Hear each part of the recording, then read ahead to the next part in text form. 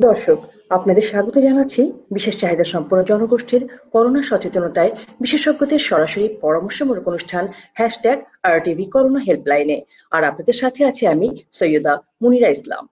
দর্শক, করোনা ভাইরাসের সংক্রমণজনিত মহামারীতে বিশ্ব আজ বিপর্যস্ত। প্রতিদিনই ঘটছে নতুন নতুন সংক্রমণের ঘটনা। বাংলাদেশেও দ্রুত ছড়িয়ে পড়ছে করোনার এই সংক্রমণ। প্রতিনিয়ত করোনা সংক্রমণের আশঙ্কায় উদ্বেগ উৎকণ্ঠায় মারাত্মক অস্থিরতায় ভুগছে প্রতিটি মানুষ। করোনা মহামারীজনিত এমন একটি পরিস্থিতি সামাল দিতে যেখানে সাধারণ মানুষদের হিমশিম খেতে হচ্ছে, সেখানে আমাদের বিশেষ চাহিদা সম্পন্ন যে মানুষগুলো রয়েছে, তাদের এবং তাদের পরিবারের অবস্থা কি হতে পারে তা নিশ্চয়ই আপনারা বুঝতে পারছেন। এই পরিস্থিতি, এই পরিস্থিতিটাকে ভালোভাবে তারা আসলে বুঝতেও পারছে না। ওরা কেন বাইরে বের হতে পারছে না? সবসময় কেন বাসায় থাকতে হচ্ছে? কেন তাদের নিত্যদিনের রুটিন পরিবর্তন হয়ে গেছে? এসব ভাবনায় তারাও চরম অস্থিরতায় ভুগছে। আর এই অস্থির পরিস্থিতিতে এই বিশেষ মানুষগুলোকে এবং তাদের পরিবারকে সাপোর্ট দেওয়ার জন্য আর টিভির এই বিশেষ আয়োজন। দর্শক করোনা ভাইরাস জনিত বৈশ্বিক মহামারীর বর্তমান প্রেক্ষাপটে বিশেষ চাহিদা সম্পন্ন সন্তানদের নিয়ে মা বাবাকে কি কি চ্যালেঞ্জ মোকাবেলা করতে হচ্ছে? কোভিড নাইন্টিনের এই সংক্রমণ থেকে কীভাবে এই বিশেষ মানুষগুলোকে নিরাপদে রাখা যায়? এই বিশেষ সময়টিতে কীভাবে তাদের শারীরিক ও মানসিক পরিচর্যা করতে হবে? করোনা মহামারীর এই সংকটকালে বিশেষ সন্তানদেরকে নিয়ে মা বাবার করণীয় কি? বা তারা কি ভাবছে? ইত্যাদি বিষয় নিয়ে আলোচনা করব আমাদের আজকের এই আয়োজনে। আর আমাদের আজকের এই আয়োজনে বিশেষজ্ঞ মতামত বা পরামর্শ দিতে আমাদের সাথে যুক্ত হচ্ছেন আমাদের সকলের পরিচিত ও প্রিয় মনোচিকিৎসক ও লেখক ডাক্তার হেলালুদ্দিন আহমেদ, সহযোগী অধ্যাপক জাতীয় মানসিক স্বাস্থ্য ইনস্টিটিউট ও হাসপাতাল। আর তিনি দীর্ঘদিন ধরেই বাংলাদেশে অটিজম নিয়ে কাজ করছেন, অটিজম বৈশিষ্ট্য সম্পন্ন মানুষদের সাপোর্ট দিচ্ছেন। করোনা মহামারীর এই সংকটকালে বিশেষ সন্তানদেরকে নিয়ে পথ চলার অভিজ্ঞতা শেয়ার করবেন এবং তাদের ঘিরে বর্তমান ভাবনার কথা শোনাতে আমাদের সাথে সংযুক্ত হচ্ছেন রাজশাহী থেকে ওয়াহিদা খানম, লিপি, নির্বাহী পরিচালক foundation for women and child assistance আরও সংযুক্ত হচ্ছেন চট্টগ্রাম থেকে অধ্যাপক ডক্টর সুদীপ কুমার পাল, বিভাগীয় প্রধান পুরকৌশল বিভাগ, চট্টগ্রাম প্রকৌশল ও প্রযুক্তি বিশ্ববিদ্যালয়। ঢাকা থেকে সংযুক্ত হচ্ছেন brigadier general Mohammad Tofail Ahmed, PSC অবসরপ্রাপ্ত প্রতিষ্ঠাতা অটিস্টিক চিলড্রেন্স ওয়েলফেয়ার ফাউন্ডেশন। দর্শক, অনুষ্ঠান চলাকালে আপনাদের প্রশ্ন ও মতামত আপনারা কমেন্ট বক্সে ইনবক্স করুন। দর্শক, চলে যাচ্ছে আলোচনায়। প্রথমে আপনাদেরকে স্বাগত জানিয়ে জানাচ্ছি আমাদের আজকের এই বিশেষ আয়োজনে। প্রথমেই আমরা চলে যাব ডাক্তার হেলালুদ্দিন আহমেদ আপনার কাছে। আসলে আমরা তো জানি যে আমাদের বিশেষ চাহিদা সম্পন্ন জনগোষ্ঠী আসলে অনেক বেশি স্বাস্থ্য ঝুঁকিতে আছে। করোনা মহামারীর এই যে সংকটকালে আসলে তাদের স্বাস্থ্য ঝুঁকি তো অনেকখানি, এই মুহূর্তে আসলে তাদেরকে নিরাপদে রাখতে বা করোনা মহামারীর সংক্রমণ থেকে সব মানে দূরে রাখতে গেলে বাবা মাকে বা পরিবারকে কি কি সতর্কতা অবলম্বন করতে হবে? ধন্যবাদ আপা। আমরা যেটি বলছি যে আমাদের আপনি প্রথমেই বলেছেন যে সকলের কিন্তু সমান ঝুঁকি। যখন একটি কমিউনিটি ট্রান্সমিশন বা সামাজিক সংক্রমণ শুরু হয় তখন কিন্তু প্রত্যেকেই সমান ঝুঁকিপূর্ণ। কিন্তু বিশেষ চাহিদা সম্পন্ন শিশুদের ঝুঁকিটি কিন্তু অন্যদের চাইতে আরও অনেক বেশি। কারণ প্রথমত তাদের স্বাস্থ্য বিধিগুলো কিন্তু তারা সবসময় যে নিজেরা অ্যাডমিনিস্টার করতে পারে তা কিন্তু না তাদের কিন্তু অন্যের উপরে কিছুটা নির্ভর করতে হয়। কোনো কোনো ক্ষেত্রে সকলের ক্ষেত্রে না কারও কারও ক্ষেত্রে স্বাস্থ্য বিধিগুলো মানার ক্ষেত্রে অন্যের উপর নির্ভর করতে হয়। সেক্ষেত্রে আমাদের বিশ্ব স্বাস্থ্য সংস্থা এবং আমাদের যে অটিজম স্পিক্স বলে যে প্রতিষ্ঠান রয়েছে, আন্তর্জাতিক একটি এনজিও, তারা কিছু গাইডলাইন দিয়েছে যে বিশেষ চাহিদা সম্পন্ন শিশুদেরকে কীভাবে এই সময় করোনা মুক্ত রাখা যায়। এবং তার ধারাবাহিকতায় Bangladesh association for child and adolescent mental health বাখাম তারা আমাদের স্বাস্থ্য অধিদপ্তরের সাথে মিলে একটি কিন্তু গাইডলাইন তৈরি করেছে, সেটি আমাদের সরকারি ওয়েবসাইটে দেয়া আছে যে এই বিশেষ চাহিদা সম্পন্ন শিশু, বিশেষ করে অটিজম ডেতে আমরা এটি পাবলিশ করেছিলাম অটিজম রয়েছেন এমন শিশুদের জন্য কীভাবে আমরা করতে পারি? আমরা যদি সংক্ষেপে একটা দুইটা পয়েন্ট সেখান থেকে বলি যে প্রথমে হচ্ছে প্রথমে তার অভিভাবক বা কেয়ার গিভার বা বাবা মা যারা আছেন তাদেরকে কিন্তু স্বাস্থ্যবিধিগুলো মেনে চলতে হবে এবং তাদেরকে কিন্তু কঠোরভাবে স্বাস্থ্যবিধিগুলো মেনে চলে নিজেদেরকে সবার আগে নিরাপদ থাকতে হবে। কারণ তাদের থেকে কিন্তু সন্তানদের মধ্যে সংক্রমিত হওয়ার ঝুঁকি সবচেয়ে বেশি। দ্বিতীয়ত হচ্ছে এই শিশুরা যার যার বয়স অনুযায়ী অন্য কোনো মাধ্যম থেকে টেলিভিশন থেকে আরেকজনের কাছ থেকে অন্য কোনো মাধ্যম থেকে এই বিষয়টি করোনা ভাইরাস সংক্রমণ স্বাস্থ্যবিধি এগুলো জানার আগেই বাবা মা এবং কেয়ার গিভাররা তাকে যার যার বয়স অনুযায়ী যতটুকু করে সম্ভব সেই স্বাস্থ্যবিধিগুলো জানানোর চেষ্টা করবেন। সবাই হয়তো সবকিছু জানবেন না সবাই হয়তো বুঝতে পারবেন না। যারা যতটুকু পারেন ততটুকু করে আমরা দেব। কাউকে হয়তো ছবি এঁকে বোঝাতে হবে কাউকে হয়তো ভিডিও এক দিয়ে বোঝাতে হবে কাউকে হয়তো অনুকরণ করে বোঝাতে হবে কাউকে অভিনয় করে বোঝাতে হবে কাউকে মুখে বললেই হবে। তো যার যার বয়স এবং অনুযায়ী তাকে বোঝাতে হবে। এবং একটি বিষয় হচ্ছে তাদের কিন্তু অনেকের যে লার্নিং প্রসেসটা বা শেখার প্রক্রিয়াটা একটু ধীরে হতে পারে। যে অন্যের মতো দ্রুত গতিতে তারা শিখবে না। সেক্ষেত্রে কিন্তু আমাদের মাথায় রাখতে হবে যে অন্য মানুষকে বা অন্য শিশুদেরকে আমরা যেভাবে শেখাবো, ওর শেখানোর জায়গাটায় আমাদেরকে আরও বেশি ধৈর্য ধারণ করতে হবে এবং সেখানে কিন্তু কোনোভাবেই আমাদেরকে ধৈর্যচ্যুতি ঘটানো যাবে না এবং পর্যাপ্ত সময় দিতে হবে এবং একদিনে প্রয়োজনে আমরা একটি স্বাস্থ্যবিধি শেখাতে পারব। একদিনে পাঁচটি শিখিয়ে দেবো তা না। আমাদের হয়তো টার্গেট থাকবে যে আমরা একদিনে একটি স্বাস্থ্যবিধি তাদেরকে শেখাবো, এর বেশি স্বাস্থ্যবিধি আমরা তাদেরকে শেখাতে নাও পারি। আরেকটি বিষয় হচ্ছে শিশুর অনেক সময় কিন্তু বেশ কিছু মানে সাহায্যের প্রয়োজন পড়ে। যেমন তার কখনো তার শিক্ষকের প্রয়োজন পড়ে কখনো তার বিশেষ শিক্ষকের বিশেষায়িত শিক্ষকের প্রয়োজন পড়ে তার থেরাপিস্টের প্রয়োজন পড়ে তার চিকিৎসকের প্রয়োজন পড়তে পারে। তাদের যোগাযোগের যে জায়গাগুলো আছে সেই যোগাযোগের জায়গাগুলো আমরা আগে থেকে তৈরি করে রাখব। যে প্রয়োজন হলে যেন যে কোনো সময় যে কোনো মুহূর্তে তাদেরকে আমরা খুঁজে পেতে পারি। এটা খুঁজে পেতে যেন আমাদের খুব বেশি বেগ পেতে না আরেকটি বিষয় এখানে গুরুত্বপূর্ণ যে শিশুদের বাবা মারা সবসময় কেয়ার নিয়ে থাকেন এবং তারাই কিন্তু কাছাকাছি থাকেন বিশেষ চাহিদা সম্পন্ন শিশুদের। সেক্ষেত্রে আমাদের বক্তব্য হচ্ছে বিকল্প কেয়ার গিভার তৈরির জায়গাটা শুরু করতে হবে এই সময় থেকেই। কারণ কোনো বিশেষ পরিস্থিতিতে বাবা বা মা বা দুজনই কিন্তু একসাথে এমন হতে পারেন যে শিশুর থেকে বিচ্ছিন্ন থাকতে হতে পারে। সেটি করোনা ভাইরাস সংক্রমণের কারণের কারণে বা অন্য যে কোনো কারণে এই মুহূর্তে কিন্তু বিচ্ছিন্ন থাকার প্রয়োজন সেই সেই জায়গাটিতে কিন্তু আমরা বলব একটা একজন বিকল্প কেয়ার গিভার খানিকটা হয়তো বাবা মার মতো ততটা পারবেন না কিন্তু বিকল্প কেয়ার গিভারের জায়গা একটা থাকতে হবে। আর সবশেষে আরেকটি বিষয় যে যে সমস্ত বিশেষ চাহিদা সম্পন্ন শিশুর কিছু অ্যাসিস্টিভ ডিভাইস লাগে কারও কারও কিছু অ্যাসিস্টিভ ডিভাইস লাগে যে বিশেষ করে যারা সেরিব্রাল পালসি বা যারা রয়েছেন আমাদের শিশুরা তাদের সেই অ্যাসিস্টিভ ডিভাইস গুলোকেও যেন আমরা সবসময় জীবাণুমুক্ত রাখি। সেটি অনেক সময় আমাদের ভুল হয়ে যায় যে আমরা ব্যক্তিকে জীবাণুমুক্ত করি কিন্তু তাই অ্যাসিস্টিভ ডিভাইসটিকে জীবাণুমুক্ত করি না। এক্ষেত্রে আমি খুব মানে গুরুত্বপূর্ণ একটি কথা বলতে চাই সেই সবচেয়ে গুরুত্বপূর্ণ অ্যাসিস্টিভ এবং কমন অ্যাসিস্টিভ ডিভাইস এটা ওই শিশুদের জন্য শুধু নয় সকলের জন্য সেটি হচ্ছে আমাদের চশমা। আমরা যেন আমাদের চশমাটিকে প্রতিদিন সাবান পানি দিয়ে ধুইতে হবে এবং তাকে জীবাণুমুক্ত রাখতে হবে। এটি খুবই গুরুত্বপূর্ণ এবং করোনা সংক্রমণের ঝুঁকির জন্য চশমাটিকে আমাদের সবসময় জীবাণুমুক্ত রাখতে হবে। আর সব শেষে আমরা বলব যে এই শিশুটিকে কিন্তু আমরা সবসময় যে পিপিই পরিহিত স্বাস্থ্যকর্মী যারা রয়েছেন তাদের ছবির সাথে তাদের ভিডিওর সাথে একটা পরিচয় করিয়ে রাখব। যাতে কোনো বিশেষ মুহূর্তে এই ধরনের ব্যক্তির সম্মুখীন হতে হলে শিশুরা যেন হঠাৎ করে ভয় পেয়ে না যায়। তাদেরকে যদি আমরা আগে থেকেই পরিচিত করিয়ে রাখি, ছবি দেখে, ভিডিও দেখে, যারা ডাক্তার, এরা বন্ধু, এরা আমাদের বন্ধু, এরা আমাদের কাছে আসবে, তাদেরগুলো দেখাই, তাহলে কিন্তু তারা হঠাৎ করে ভয় পাবে না। এই বিষয়গুলো আমাদেরকে মাথায় রাখতে হবে বাবা মা অবশ্যই চেষ্টা করবেন মানসিক চাপ মুক্ত থাকতে, কারণ বাবা মার মানসিক চাপ শিশুদের মধ্যে কিন্তু সংক্রমিত হতে পারে। সংক্ষেপে এইভাবেই আমাদের আমাদের এই বিষয়গুলোকে আমরা বলতে পারি। অনেক ধন্য, অনেক ধন্যবাদ আপনাকে। এই জন্য যে আপনি এত গুরুত্বপূর্ণ তথ্যগুলো আমাদের সাথে শেয়ার করলেন, আমাদের দর্শক জানলো যে একটি বিষয় খুবই গুরুত্বপূর্ণ, সেটা হচ্ছে আসলে বাবা মাকে আগে স্বাস্থ্যবিধি মেনে চলতে হবে। তাদেরকে সুস্থ থাকতে হবে। তাদেরকে চেষ্টা করতে হবে যতদূর সম্ভব নিরাপদ থাকার। আবারও আপনাকে ধন্যবাদ। চলে যাচ্ছি আমরা রাজশাহীতে। ওখানে আমাদের সাথে একজন সংযুক্ত হয়েছেন, ওয়াহিদা খানম। ওয়াহিদা খানম, উনি দুজন বিশেষ সন্তানের মা। তো আমরা এখন ওনার কাছ থেকে ওনার সন্তানদের বিষয়ে জানব। এই সংকটকালে কীভাবে উনি সাপোর্ট দিচ্ছেন বা বাচ্চাদের কীভাবে সময় কাটছে এই বিষয়গুলো আগে জেনে আসি। ওয়াহিদা আপা প্রথমে আপনার বাচ্চাদের নাম ওদের বয়সটা একটু আমাদেরকে জানাবেন ওদের সমস্যাটা একটু আমাদেরকে জানিয়ে তারপর ওয়াহিদা আপা। ধন্যবাদ আপা। আসসালামু আলাইকুম। ওয়ালাইকুম আসসালাম। আমার বাচ্চাদের নাম মাহিরাহি বয়স বাইশ বছর। দুজনেই সেভেল পলসি চিলড্রেন তো আসলে আমাদের জন্য আসলে হঠাৎ করে এই করোনার যে প্রাদুর্ভাবে আমরা যে দুই মাস থেকে যে ভাবে আমরা ওদেরকে দেখছি বা ওদেরকে নিয়ে সময় কাটাচ্ছি আসলে পুরোটাই ভীষণ একটা মানসিক প্রেশার আমাদের ছিল ভীষণ মানসিক চাপ। কারণ ওরা তো আসলে দীর্ঘদিন যাবৎ একটা নির্দিষ্ট রুটিনের সাথে অভ্যস্ত। তাদের স্কুল যাওয়া বাইরে যাওয়া থেরাপিতে প্লাস বাসাতেও তাদের ছিল স্পেশাল টিচার আসতো। তো করোনার কারণে যেটা হয়েছে যে সবকিছু আসলে বন্ধ হয়ে গেছে। পুরা তাদের রুটিনটা আসলে ব্রেক হয়ে গেছে।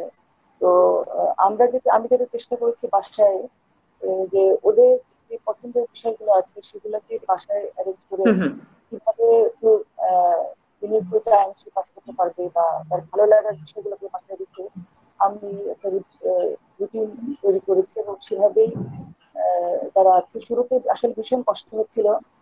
তারাও অনেক দিতে পারছে না করে এই অবস্থা এবং ভীষণ হাইপার হয়ে গিয়েছিল।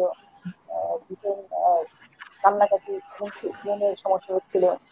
এখন আস্তে আস্তে মনে হচ্ছে যে আসলে পরিবর্তিত পরিস্থিতিতে তারাও অনেকটাই আমার বলব যে বলব সামঞ্জস্য মানিয়ে নিতে পারছে আর আর সবচেয়ে বড় বিষয় যেটা সেটা হচ্ছে যে আমার বাচ্চাদের ডিসেবল বাচ্চাদের ফিজিওথেরাপি একটা বিশাল বিশাল একটা গ্যাপ পড়ে গেছে। দেড় মাস ধরে তারা ফিজিওথেরাপিতে অফ আছে বাসায় যতটুকু সম্ভব আমরা চেষ্টা করি চালিয়ে যাচ্ছি। যেটা হচ্ছে যে ফিজিওথেরাপিতে অফ থাকার কারণে তার ফিজিক্যাল মুভমেন্টগুলা আগে থেকে আমার কাছে মনে হচ্ছে যে অনেকখানি সমস্যা মনে হচ্ছে আমার কাছে তার হাঁটা তারপর তার মুভমেন্টে তো এই জায়গাটা আসলে আমি জানি না কবে পরিস্থিতি স্বাভাবিক হবে বা তাকে যে জায়গাতে ছিল সেই জায়গাতে নিয়ে আসতে হয়তো আমার আরও অনেক সময় লাগবে। এখন আল্লাহ মতো অনেক ভালো আছে। আমরাও চেষ্টা করছি যে প্রতিনিয়ত তাদের পরিবার আমি না, আমার পরিবারের আর যারা সদস্য আছে। সবাইকেই তাদের সাথে সহযোগী হয়ে তাকে একটা সে যেন তার সময়গুলো যেন পুরোপুরি কাটাতে পারে। প্লাস ভালো থাকতে চেষ্টা আপা আপনার একটি বিশেষ শিক্ষা প্রতিষ্ঠান আছে আনন্দধারা নামে। সেখানে অনেকগুলো বাচ্চা আছে। ওই বাচ্চারা কেমন আছে? তাদের খবর নিশ্চয়ই রাখছেন। তাদের কি অবস্থা? একটু সংক্ষেপে যদি আমাদেরকে জানান। আপা এখন পর্যন্ত আমাদের আল্লাহ রহমতের সব বাচ্চারা ভালো আছে। শুরুতে যেটা হয়েছে আমি বললাম যে আসলে মাদের একটা ভীষণ একটা মানসিক চাপ দিয়েছে।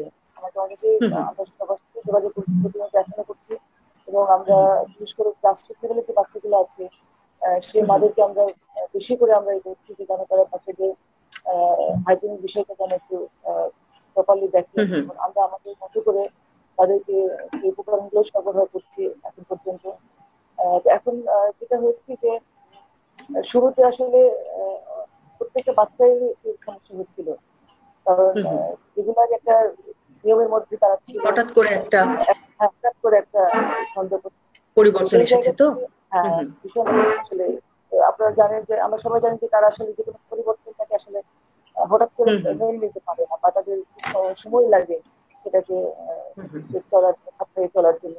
এখন দেড় মাসে অনেকটাই অনেকটাই আমার মনে হয় যে প্যারেন্টসদের সাথে আমরা রেগুলার কথা বলছি তারা ভালো আছে এবং প্যারেন্টসদেরকে আমরা প্রয়োজন মতো তাদের যে সমস্যাগুলো তাদের আমরা কাউন্সিল করছি এবং ওভার টেলিফোন আমরা ভিডিও কলের মাধ্যমে আমরা জি আপা ধন্যবাদ। আরও জানব ওদের সম্পর্কে আপনার কাছে। আমি এখন চলে যাচ্ছি ডক্টর সুদীপ কুমার পালের কাছে। প্রথমেই আপনার কাছে আপনার সন্তানের সম্পর্কে জানতে চাইব। আপনার বিশেষ সন্তানটির নাম তার বয়স এবং এই মুহূর্তে তাকে কীভাবে সাপোর্ট দিচ্ছেন বা কি কি চ্যালেঞ্জ আপনাকে মোকাবেলা করতে হচ্ছে বিশেষ সন্তানটিকে নিয়ে। হ্যাঁ ধন্যবাদ আমাদেরকে কানেক্ট করার জন্য। আমার মেয়ে মেয়ের নাম শ্রেষ্ঠা পাল ওর বয়স তেরো বছর। ওইখানে একটা বিশেষ চাহিদা সম্পন্ন স্কুল আছে নিষ্পাপ স্কুল ওইখানে পড়ে। এটা তো আসলে খুব সারা বিশ্বই করোনা ভাইরাস নিয়ে আতঙ্কিত। এই পরিস্থিতিতে সবাই আমরা চিন্তিত উদ্বিগ্ন। আমরা যারা স্বাভাবিক মানুষ আছি তারাই আসলে আতঙ্ক বা হতাশাগ্রস্ত হয়ে যাচ্ছে প্রতিদিনের খবর দেখে। এখন ঘরের যে সবচেয়ে ছোট সদস্য মানে যারা শিশুরা তাদের জন্য তো এটা আসলে চ্যালেঞ্জিং আর সেটাই। ডক্টর হেলাল উদ্দিন সাহেবের বক্তব্য শুনলাম। আমরাও সেগুলো ফলো করার চেষ্টা করছি। আসলে আমার মেয়ের যেটা সমস্যা সেটা হচ্ছে ওর কোনো স্পেস নেই। ও আগে অনেক বেশি হাইপার ছিল। এখন মোটামুটি কিছু স্কুলে কিছু অকুপেশনাল থেরাপি এর মাধ্যমে কিছুটা কুল থাকে বাট মাঝে মাঝে কিন্তু যে সবসময় ওকে ম্যানেজ করা যাচ্ছে তা নয়। যেটা ওয়াহিদা আপাও বলেছেন হঠাৎ করে আসলে চেঞ্জ হওয়াতে ওদেরকে এগুলো বোঝাতে একটু সময় লেগে যাচ্ছে। যেটা হয় প্রত্যেক রুটিনে ছন্দপতন হওয়াতে ও যেটা হতো সকালবেলা ঘুম থেকে উঠে রেডি হয়ে যেত স্কুলের গাড়ি আসতো স্কুলে যেত সেই জিনিসটা সে দারুণ ভাবে মিস করছে। যেটা আসলে যেটা আসলে ও খুব বেশি মিস করে। ঘুম থেকে উঠে রেডি হয়ে যেত। এটা একটা রুটিনে পরিণত হয়েছিল ওর জন্য। আচ্ছা সেখান থেকে আমরা ওদেরকে বুঝিয়েছি। বোঝানোর পরে স্কুলের কিছু এডুকেশনাল প্রোগ্রাম আছে সেগুলো দেয়া আছে। সেগুলোর মাধ্যমে ওকে আমরা ম্যানেজ করার চেষ্টা করছি। বাট হঠাৎ হঠাৎ করে কিন্তু মাঝে মাঝেই ওর ঘুমের একটু সমস্যা আছে। মাঝে মাঝে কিছু স্লিপিং ডিসঅর্ডার হয়ে যায় আসলে মানে ঘুমটা ঠিক মতো হয় না। তখনই একটু আমাদের জন্য সমস্যা হয় ম্যানেজ করা। কারণ যেদিন ঘুম হয় না তারপরে সারাদিনই ও মোটামুটি একটু ইয়ে থাকে। তো এখানে আমাদের ওই ওর যে স্কুল স্কুলটা আসলে স্কুলের নির্বাহী সভাপতি হচ্ছে সোনা মুহুরি উনি চট্টগ্রাম শিশু বিশেষজ্ঞ। আপনারা জেনে থাকবেন উনি অটিজম নিয়ে কাজ করেন। ওনার সঙ্গে আমরা আবার ভালোভাবে কানেক্টেড উনি নাম্বার টাম্বার দিয়েছেন। ওনার সঙ্গে আমরা যোগাযোগ করি। কথা বলি উনি ওনার কাছ থেকে আমরা সাজেশন নিই। সাজেশন নিয়ে তখন আমরা আসলে সেইভাবে ওকে ম্যানেজ করছি। আর স্বাস্থ্যবিধির বিষয়টা আসলে আমরা ওকে ঠিক ওইভাবে যে এখন পর্যন্ত বুঝিয়ে উঠতে পেরেছি সেটা না। আমরা চেষ্টা করছি। বাবা মা যারা আমি যেহেতু এখন মোটামুটি বাসায় আছি অফিসে খুব কম অফিসে যাচ্ছি বা বাইরে আমরা নিজেরা স্বাস্থ্যবিধিটা মেনে চলছি এবং ওকেও আমরা চেষ্টা করছি যে হাতটা ধোয়ানোর বিষয়ে একটু পরিষ্কার পরিচ্ছন্ন থাকার ব্যাপারে। এবং হাত মুখটা যেন হাত মুখ চোখে না দেয় অপরিষ্কার অবস্থায়। এবং ওর যে জিনিসপত্রগুলো আছে সেগুলো টাইম টু টাইম পরিষ্কার করা ধোয়া আমরা আমাদের সামনে চেষ্টা করছি। আচ্ছা। এইভাবে মোটামুটি এখন পর্যন্ত ভালো আছে। জি, আপনাকে অনেক ধন্যবাদ।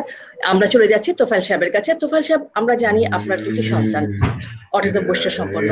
আমি আপনার কাছে ওদের সম্পর্কে জানতে চাইব, ওদের নাম, ওদের বয়স, আর এই সময়টাকে ওরা কীভাবে গ্রহণ করেছে বা এই সময়টার মধ্যে তাদের কি কি পরিবর্তন আপনি দেখতে পাচ্ছেন? ওদেরকে ম্যানেজ করতে গিয়ে কি কি চ্যালেঞ্জ আপনাকে ফেস করতে হচ্ছে আমাদের সাথে শেয়ার করুন।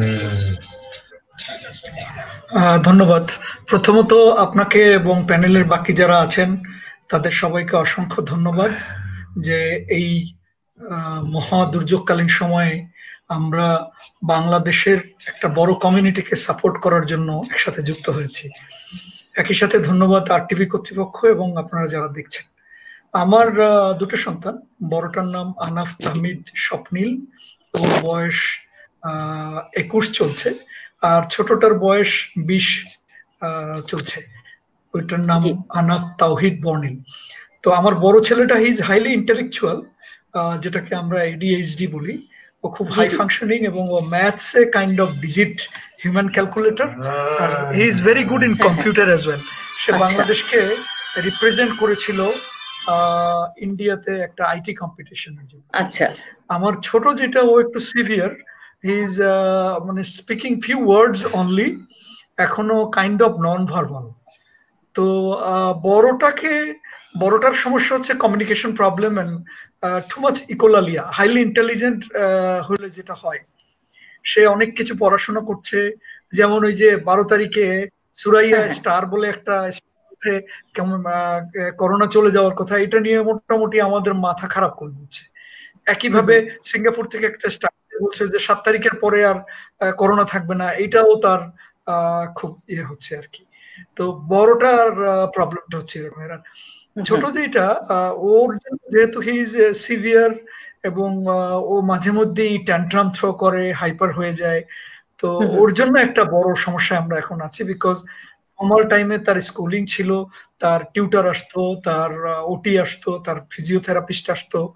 এখন তো সেগুলো সে পাচ্ছে একইভাবে আমি ডক্টর হেলাল উদ্দিন আহমেদকে ধন্যবাদ দিতে চাই তার কয়েকটা খুব গুরুত্বপূর্ণ কথার জন্য।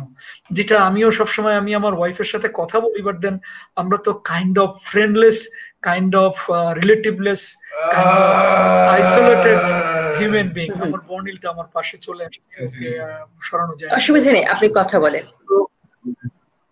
যেটা বলছিলাম যে কোনো কারণে যদি আমাদের একজনের বা দুজনের করোনা হয়ে যায় এবং তারপরে ওদেরকে দেখবে? আর সবচেয়ে বড় কথা হলো ওদের যদি হয় তাহলে যে কি হবে একমাত্র আল্লাহ জানে। তো মাঝে মধ্যে আমরা ফ্রাস্ট্রেটেড হয়ে বলি যে করোনা যদি হয় তাহলে যেন আমাদের চারজনেরই হয় এবং চলে যদি যেতে হয় তাহলে যেন আমরা চারজন একসাথেই চলে যাই। তো এটা তো আসলে বাস্তবতা নয় এটা অভিমানের কথা। আমার যেটা কথা সেটা হচ্ছে আমরা বাবা মায়েরা দেখেন, আপনি ডক্টর হেলাউদ্দিন ছাড়া বাকি তিনজন যাদের কানেক্ট করলেন বা বাসনা মুহুরি আপনি নিজেও একজন স্পেশাল নিড বাচ্চার মা। তো বাংলাদেশে বর্তমান প্রধানমন্ত্রী এবং তার কন্যা সাইমা অজেদ ওনারা কিন্তু অনেক চেষ্টা করে যাচ্ছেন এই বিষয় নিয়ে দেশের মানুষকে এবং এই কমিউনিটিকে হেল্প করার জন্য। বাট আমরা আসলে কতটা ক্রিয়েট করতে পারছি? মানে is there is is there a place যেখানে আমরা আমাদের বাচ্চাদের নিয়ে যেতে পারব? অথবা কোন সময়, তো এইটা দেখেন, আমরা কিন্তু বাইশ বছর ধরে, বিশ বছর ধরে চেষ্টা করে যাচ্ছি।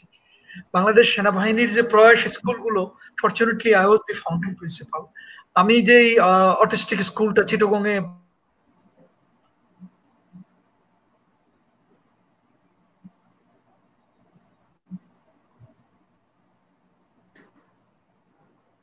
নেটের সমস্যা হচ্ছে, আমরা কিছুক্ষণের জন্য হয়তো বিচ্ছিন্ন হয়ে গিয়েছি তোফাইল সাহেবের কাছ থেকে। তো এই সুযোগে আমি ডক্টর হেলাল হেলাল উদ্দিন আহমেদের কাছে যেতে চাই। ওনার কাছে আমার জিজ্ঞাসা বা জানতে চাওয়া সেটা হলো যে, আপনি এতক্ষণ এই বাবা মাদের কথা শুনলেন, আমরা আসলে ওটাই বলতে চাই যে শুধু ওনারা না, এরকম যে বাবা মা আছেন, ওনারা আসলে বলছেন যে, বাচ্চাদেরকে এই সময় ম্যানেজ করতে খুবই কষ্ট হচ্ছে। বাসায় তারা অনেক ধরনের অনাকাঙ্ক্ষিত আচরণ করছে বা এমন কিছু অস্থিরতা প্রকাশ করছে যেটা কিনা আসলে মেনে নেওয়াটা কঠিন হয়ে যাচ্ছে বাবা মার পক্ষে। তো এই মুহূর্তে আসলে এই বিশেষ মুহূর্তে ম্যানেজমেন্টটা কেমন হওয়া উচিত বাসায় বা পরিবার কি করবে এই বাচ্চাগুলোকে ম্যানেজ করার ক্ষেত্রে? ধন্যবাদ আসলে এটি আপনি প্রথমে সঠিক বলেছেন যে এটি একটি বিশেষ মুহূর্ত এবং আমাদের যে শিশুদের নিয়ে কথা বলছি তারাও বিশেষ শিশু। ফলে ম্যানেজমেন্টটাও আমাদের একটু বিশেষ ম্যানেজমেন্ট হতে হবে এই সময়টাতে। সেটা হচ্ছে যে আমরা যখনই আমরা বলব যে আমরা যখনই কথা বলছি আমরা খুব জেনারেলাইজড করে হয়তো বলছি কারণ সকলের জন্য বলছি বাংলাদেশের সবার সকল শিশু বা সকল বিশেষ চাহিদা সম্পন্ন শিশুর জন্য বলছি। কিন্তু বাবা মাদেরকে মনে রাখতে হবে প্রত্যেকটি শিশু হচ্ছে তাদের সন্তান হচ্ছে ইউনিক মানে একজনের সাথে আর একজনের কিন্তু সবকিছুতে মিল পাওয়া যাবে না। একজনের আচরণ একরকম হবে একজন একটিতে উত্তেজিত হবে আর একজন আরেকটিতে শান্ত হবে। সুতরাং বাবা মাদেরকে আমরা বলব কাস্টমাইজ করতে। আমরা হয়তো একটা জেনারেলাইজড উপদেশ দিয়ে দেবো। আমাদের হয়তো একটা গাইডলাইন আছে। কিন্তু বাবা মাকে তার অভিজ্ঞতা থেকে এবং সমস্ত কিছু থেকে একটি কাস্টমাইজ করে নিতে হবে জিনিসটাকে নিজের মতো করে নিতে হবে। যে আমার সন্তানের জন্য উপদেশের এই অংশটুক বেশি কার্যকরী এই অংশটুক আমার সন্তানের জন্য মোটেই কার্যকরী না। বা এই অংশটুক আমার সন্তানের জন্য বেশি বেশি করে করতে হবে আমাদেরকে। ফলে আমরা বলব যে সন্তান এই সময় যখন অস্বাভাবিক কিছু আচরণ করবে বা তার আচরণের কিছু পরিবর্তন কিন্তু আমরা দেখতে পাবো এটি দুটো কারণে। একটি হচ্ছে তাদেরকে কিন্তু এখন ঘরে থাকতে হচ্ছে। একটা সময় হয়তো তার স্কুলে যেত বিশেষ স্কুলে বাইরে যেত একটা একটা কমিউনিটির সাথে যোগাযোগ রাখার সক্ষমতা ছিল। এখন কিন্তু সেই জায়গাটি আমরাই বন্ধ করে দিয়েছি। আমরা নিজেরাই বন্ধ করে দিয়েছি যে তারা আর বাইরে যেতে পারবে না ঘরের ভেতরে থাকতে হবে। এবং আপনি জানেন এই ধরনের শিশুদের এক কারও কারও প্রবণতা থাকে বারবার বিশেষ মুখে হাত দেয়া হাত নাড়ানো এগুলো কিন্তু তাদের একটা এক ধরনের তাদের সব মানে তাদের বৈশিষ্ট্যেরই একটি অংশ আমরা বলি। ফলে সেই জায়গা থেকে আমরা হয়তো মুখে হাত দেওয়াটাকে হয়তো সবসময় তাদেরকে আমরা বন্ধ করতে পারব না। তখন আমাদের বিকল্প ব্যারিয়ার তৈরি করতে হবে আমরা কি করতে পারি? সেক্ষেত্রে আমরা তাদের হাতটিকে বারবার পরিষ্কার রাখতে পারি। তাদের হাত থেকে আমরা যদি অন্যেরা যারা বাড়িতে আছে তারা যদি দিনে পাঁচবার হাত ধুই তাদেরকে প্রয়োজনে দশ বার হাত ধোয়াইতে হবে। এখানে আমরা শুনেছি আমরা দেখেছি আমরা আমি এই এই এই এই ঘটনার পর থেকে আমাদের কাছে অনেক ধরনের সমস্যার মুখোমুখি আমরা হয়েছে। আমাদের যারা ক্লায়েন্ট আছেন বা অভিভাবকরা আছেন যে কারও কারও হাত ধুতে যে হাতের সমস্যা হচ্ছে আমরা বলব এখন হাতের স্কিন সমস্যাটাকে গৌণ মনে করতে হবে আমাদেরকে। আমাদেরকে করোনা সংক্রমণটাকে দ্রুত মানে এটাকে বেশি গুরুত্ব দিতে হবে। ফলে সন্তানদেরকে হাতটাকে বেশি ধোয়াতে হবে। আমরা বলি যে আমাদের অনেক সময় আমরা ডান হাত বেশি ব্যবহার করি। এই মুহূর্তে আমাদের যারা ডান হাতি তাদের বা হাতটি বেশি ব্যবহার করার চেষ্টা করতে হবে। কারণ বা হাতটি যত ব্যবহার করব সেই হাতটিকে আমরা যা ধরবো সেই জিনিসগুলো আমি কিন্তু বা হাতটা মুখে দিব না। যাদের আমাদের লেফট হ্যান্ড রাইট হ্যান্ডেড তারা কিন্তু বা হাতটা মুখে দিই না আমরা ডান হাতটাকে মুখে দিই। জিনিসপত্র ধরার ক্ষেত্রে আমরা সচেতন ভাবে এখন বা হাত ব্যবহার করার চেষ্টা করব বেশি করে। এই ধরনের কতগুলো ট্রিক্স আমরা কতগুলো জিনিস আমরা বলি আর সন্তান কিন্তু এই সময় উত্তেজিত হয়ে যেতে পারে আচরণজনিত কিছু সমস্যা তার মধ্যে দেখা দিতে পারে সেক্ষেত্রে বাবা মাদেরকে আমরা বলব আপনারা উত্তেজিত হবেন না। আপনাদেরকে কিন্তু উত্তেজিত হওয়ার কোনো সুযোগ নাই এই মুহূর্তে। সন্তানদেরকে একটু বেশি সময় দিতে হবে তার কথা মন দিয়ে শুনতে হবে এবং এই সময় যেহেতু তার স্কুল এবং বিশেষ শিক্ষা বর্ণনা সকল কিছু বন্ধ রয়েছে আমরা চেষ্টা করব এই সময়টাতে সন্তানকে বিকল্প মাধ্যমে কিছু ধরনের শিক্ষা কার্যক্রমের সাথে সম্পৃক্ত হতে। সেই বিকল্প শিক্ষা কার্যক্রম হতে পারে অনলাইনে হতে পারে অফলাইনে হতে পারে বাবা মারা নিজেরা কথা বলে তার সাথে এক ধরনের আগে হয়তো একজন শিক্ষক পড়াতেন এখন বাবা মা সেটি করবেন। সুতরাং তাকে কিন্তু একদম বিচ্ছিন্ন করা যাবে না। এটিকে লকডাউন বা কোয়ারেন্টাইন মানে যে সন্তানের সকল ট্রেনিং সকল থেরাপি সবকিছু বন্ধ তা নয়। আমরা হয়তো বিষয়টাকে অনেকখানি কমিয়ে আনব। আগের মতো গতিতে পারব না। কিন্তু কিছুটা হলেও তাদেরকে আমাকে এই এই জিনিসগুলোকে কিন্তু আমাদের চর্চাটাকে চালিয়ে যেতে হবে। আরেকটি জিনিস আমরা কিন্তু খেয়াল করব, আমরা একটা অ্যানালাইসিস করব নিজেরা নিজেদেরকে, আমাদের আচরণগুলোকে। আমরা একটিকে অনেক কঠিন নামে বলি, আমি কঠিন নামটা বলছি না থেরাপি টেরাপির কথা বলছি না, খুব সংক্ষেপে বলছি যে এই মুহূর্তে সন্তান কি করলে তার আচরণটি পরিবর্তন হচ্ছে? আমার কোন আচরণের কারণে পরিবর্তন হচ্ছে? আমার ঘরের কোন আসবাবপত্রটি পরিবর্তন করার কারণে তার আচরণ পরিবর্তন হচ্ছে? আমার দরজার পর্দাটি কীভাবে রাখার কারণে তার আচরণ পরিবর্তন হচ্ছে? আমরা এই জিনিসগুলোকে নিজেরা বোঝার চেষ্টা করব। বুঝে যখন আমরা আইডেন্টিফাই করতে পারব তখন আমরা সেই কাজগুলো করা থেকে একটু বিরত থাকব। ফলে এই সময়টা আমরা আগেই বলেছি বিশেষ সময় বিশেষ শিশু আমাদেরকে একটু বিশেষ ব্যবস্থা গ্রহণ করতে হবে। জি, অনেক ধন্যবাদ। অনেক গুরুত্বপূর্ণ তথ্য আমাদেরকে জানালেন। আমি তোফাইল সাহেবের একটি কথা দিয়েই আপনার কাছে আবার যেতে চাই। সেটা হচ্ছে যে, এরকম তো হতেই পারে যে বাবা মা দুজনেই হয়তো করোনা পজিটিভ হয়েছে। এই সময় হয়তো সন্তানের কাছ থেকে বিচ্ছিন্ন থাকতে হতে পারে। আর আপনি তো জানেন যে, এই পরিবারগুলোর আসলে বন্ধু সেরকম একটা থাকে না বা দ্বিতীয় যে একটা সাপোর্ট তৈরি করা সেটাও আসলে হয়ে ওঠে না।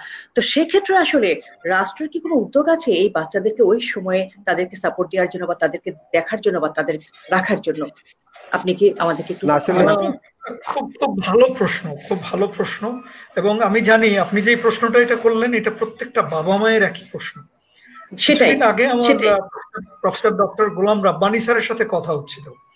জি জি। তো আমি স্যারকে বলছিলাম যে স্যার আপনি তো এনডিটি ট্রাস্টের সুরক্ষা কমিটির চেয়ারম্যান এবং আপনিও তো জানবেন আমাদের সরকারের কিন্তু ইনিশিয়েটিভের কোনো ঘাটতি নাই। আমাদের মাননীয় প্রধানমন্ত্রী এবং তার কন্যা এই এলাকার সমস্ত স্টেট দের হেডদের নিয়ে যেই বড় একটা কনফারেন্স করে পুরো পৃথিবীকে আগে তো অটিজম কি এটা কেউ জানতো না। অ্যাটলিস্ট ওনারা আসার পরে এখন অটিজম কি এইটা এটা এখন অ্যাটলিস্ট মানুষজন জানে। এমনও ঘটনা ঘটেছে আমার সাথে যে দোকানদারে মানে আমি জুতার দোকানে গিয়েছি দোকানের কর্মচারীরা আমার ছেলে এবং বা আমাকে সহ ধাক্কা দিয়ে দোকান থেকে বের করে দিয়েছে যে আমার ছেলে ওখানে একটা সাজানো বল আছে এই বলটা সে কেন ধরবে? তো এইটা হচ্ছে ওদের অজ্ঞতা। অথচ অন্য কোনো দেশে গেলে তারা যদি বুঝতে পারে যে এই বাচ্চাটা অটিস্টিক ওরা কিন্তু বরং তাদেরকে কীভাবে ব্যস্ত রাখা যায় তাদেরকে কীভাবে মানে বাবা মায়ের শপিং আসলে এরকম অভিজ্ঞতা সব বাবা মাকেই পেতে হয়েছে। এই ধরনের অভিজ্ঞতা খুব মানে খুবই কমন ছিল। তো সেক্ষেত্রে আসলে এখন তো অনেকটাই এগিয়েছে আমাদের মাননীয় প্রধানমন্ত্রী এবং কিন্তু আজকে যখন এই করোনা মহামারীর এই যে সংকটকাল আমরা পাড়ি দিচ্ছি এই মুহূর্তে আসলে আমাদের বাবা মাদের একটি বিশাল দুশ্চিন্তার জায়গা। যদি বাবা মার এরকম কিছু হয়ে গেল তখন এই বাচ্চাটি কোথায় যাবে? দ্বিতীয়ত যদি বাচ্চাটির এরকম কিছু হয়ে যায় আল্লাহ না করুক তখন আসলে এই বাচ্চাকে আমরা কোথায় নিব? তাকে সাপোর্ট দেওয়ার মতো সেই দক্ষ জনগোষ্ঠী বা সেই দক্ষ স্বাস্থ্যকর্মী আমাদের আছে কিনা? ডাক্তার হেলাল উদ্দিন আহমেদ। জি আমি একটা পয়েন্ট যোগ করি ডাক্তার সাহেব যাওয়ার আগে। আমি ঠিক একই মত সালুনার সাথে। যে আসলে অনেক কিছুই এগিয়েছে আইনগত ভাবে রুলস রেগুলেশনের ব্যাপারে। সামাজিক যে দৃষ্টিভঙ্গি মানে যে দৃষ্টিভঙ্গিতে আসলে মানুষকে এগিয়ে আসতে হবে। আমার মনে হয় সেই জায়গাটাও ল্যাকিং আছে। আর শেল্টার রুমের কথা বলেছেন, সেটা আমিও আসলে এমন যে আমরা বাবা মারা যেটা ফিল করছি, সেই বাচ্চাদেরকে আসলেই কতটা আসলে ফিল করতে পারবে বা আমরাও কতটা এটাতে আশ্বস্ত হতে পারব, এই জায়গাটাও আসলে আমার মনে হয় যে আরও বেশি মানুষের দৃষ্টিভঙ্গি বদলানো দরকার। আমি নিজেও বাইরে ছিলাম, আমি ইউকে তে ছিলাম প্রায় চার বছর। আমি দেখেছি সেইখানে আসলে বাচ্চাদেরকে কীভাবে কেয়ার করা হয়। বাংলাদেশে আসার পরে কিন্তু আসলে এটা আমরা যদি অনেক পজিটিভ বাস্তববাদী মানুষ আমরা আশা রাখতে চাই আমরা আশার আলো দেখতে চাই বাট সেই জায়গাটায় কিন্তু সরকারকে আরও বেশি কাজ করতে হবে বলে আমার জি ধন্যবাদ। ধন্যবাদ ব্রিগেডিয়ার সাহেব এবং আমাদের প্রফেসর সাহেব যে দুটো কথা বললেন আমরা বলব হ্যাঁ সরকারের কিন্তু বিষয়টি অবশ্যই সরকারের মাথায় আছে এবং আমরা সরকারের যে জায়গাটিতে কাজ করছি যেখানে আমাদের স্বাস্থ্য অধিদপ্তর এবং আমাদের অসংক্রামক রোগ নিয়ন্ত্রণ কর্মসূচির সাথে আমাদের এই বিষয়টিকে নিয়েই কিন্তু আমরা একটি গাইডলাইন পর্যন্ত প্রস্তুত করেছি তাদেরকে কীভাবে রাখতে হবে। এখন যদি বাবা মা দুজনই এই করোনা ভাইরাসের সংক্রমণে হয়ে যায় তখন শিশুটির কি যাবে?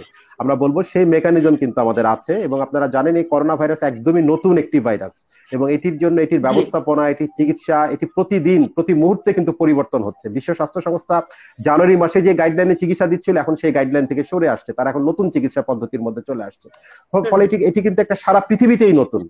এবং আমরাও কিন্তু এই নতুনত্বের সাথেই কিন্তু লড়াই করে যাচ্ছি। ফলে এখানে কিন্তু আমাদের সীমাবদ্ধতা আছে।